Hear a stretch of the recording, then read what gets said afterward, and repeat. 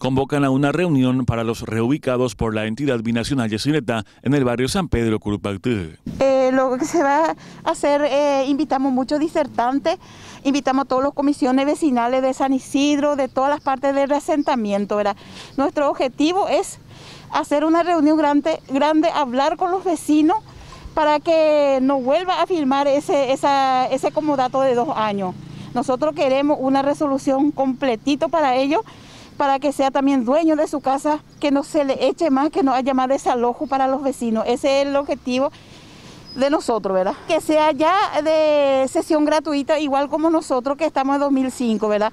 Que sea ya para ellos que no se haga un desarraigo de vuelta a ninguna persona y que se le ceda a esa persona porque acá hay muchos inconvenientes en la etapa porque en aquel momento también cuando hubo el desarraigo vinimos lejos de los lugares donde trabajábamos y no había un plan de ayuda para nosotros, un proyecto en donde que la gente podía trabajar y quedarse. Después vino la luz, excesivamente mucho.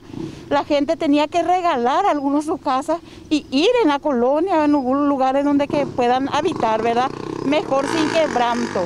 Y acá en barrio San Pedro, eh, más o menos estará por eh, no sé realmente porque a mí no me dieron participación en la EVI, porque en la EVI se le dio a la gente que tiene resolución como comisión vecinal, ¿verdad? Y como acá en el barrio no hay comisión vecinal por el momento, por la pandemia mismo, no se está haciendo, entonces no hay un representante legal con documento en donde que pueda ir a representar, entrar en la EVI y los funcionarios de la EVI que le entregue de cada una de las familias. Pretenden que las viviendas sean cedidas a estas personas y ya no estén en carácter de préstamo.